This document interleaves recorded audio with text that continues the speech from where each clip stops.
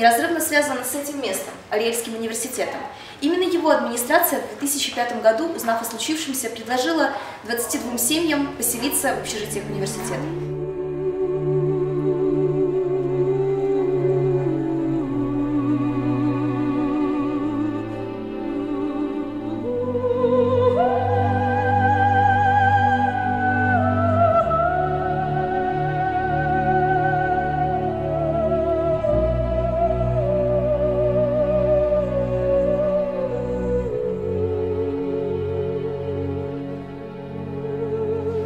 Ариэль Эттингер работает в Ариэльском университете инженером, а также занимается исследованиями в области высоких технологий. Его научная карьера сложилась очень интересно хотя бы потому, что в Гушкатив он преподавал Тору.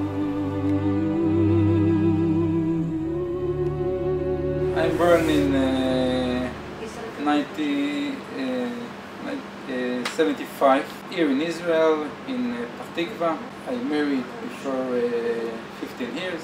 I have now uh, seven children. Uh, we live here in Ariel uh, about uh, nine years after the transport from Gush Katif. Actually, in Gush Katif we live two years. We came there from Ramat Golan. We lived in Ramat Golan for several years, and then we came there. Uh, to there I came to do, to be a teacher, teacher for uh, about uh, 12, 13 years uh, old people, children.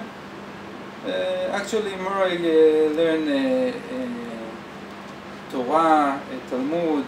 Yes, this is what I do there. After uh, we transfer from Gush I do change and I start to learn here in the Ariel University. In the last year, I finished the second degrees in uh, electronic uh, uh, engin- engineer. And uh, now I work here in, here in this uh, laboratory. How many members of your family uh, have moved with you, moved with you to Ariel? We move here about 22 uh, families. Actually, all of our uh, place uh, came here first to the university.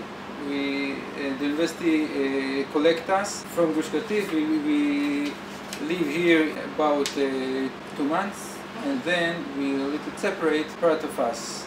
About 22 families uh, stay here in Ariel, and the other go to the nurse Yes, uh, it's called the Chalutza. Now they uh, have a new place it's called Bnei Netzarim. In Netzarim I had three children and actually the fourth one after we we came to live here in Ariel, uh, she born here in Ariel and uh, we call her uh, Neta. Neta it's mean the take a tree and to put it on the ground. Yes, so it's uh, a new life. time, that new life that uh, started here.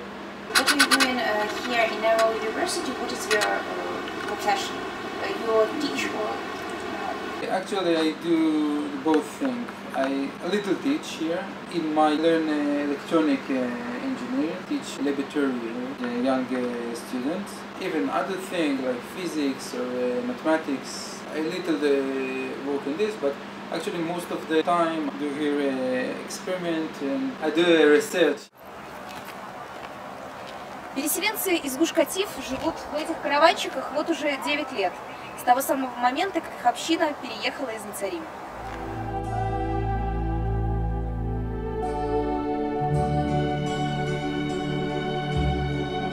What difficulties did you, did you have uh, after you moved here? I'm emotional, maybe difficult. First time it was the where we're going to walk. Yes, my wife have a good uh, speech therapy, so we she found find very easy uh, new job. For her it's not problem. For me to be a teacher, so first I, I start to teach some place, but it wasn't so good. So this is the reason actually that I say that I need to find another thing. So I change my uh, business. This is the hard uh, in this place. Of course, it is. It was hard. My heirs to leave part of Israel country, land take a time. Was a group, was together, and uh, step by step to understand. Now it's other place. Now we need to work here. Now uh, we need to live here, and not forget what we had there. But we have to keep going and to start a new life, not taking the same place. We know that uh, for your community, for Shuv, uh, it's very important to live together. Can you explain us why? First, we're friends.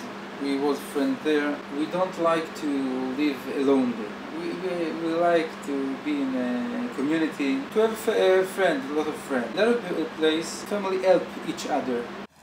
Строительство домов для переселенцев из Гуш-Катив ведется на этой территории с 2010 года. Из-за спорного статуса Сомали пока не ясно, как скоро оно будет завершено.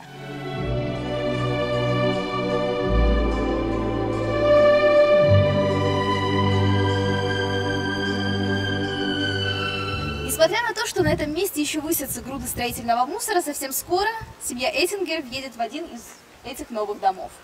Maybe you, have, you had some possibilities to move to another place. Until now, about nine years, we live in a caravan.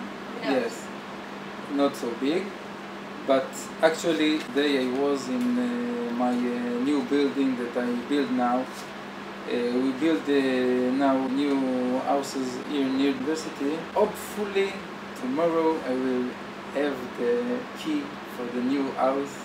Yet not to came inside, but I will get the, the key and I could start to sort out I uh, move to the new house. What about your family? Uh, are they happy? And uh, maybe you have some hopes. Uh, for example, uh, we will have a big garden, or we will have a, a big dog, or something like this. No? So uh, now we haven't garden, but in the new house we will add garden. Not so big, but a little garden. Dog, my uh, wife don't want. she don't give us to. But we have a little uh, a tuki birds. Yes. Uh, is this place uh, convenient for you and for your family? And uh, is it not so far from your uh, job or uh, kindergarten or school? Or I and my wife uh, working here in the area, so it's uh, good for us.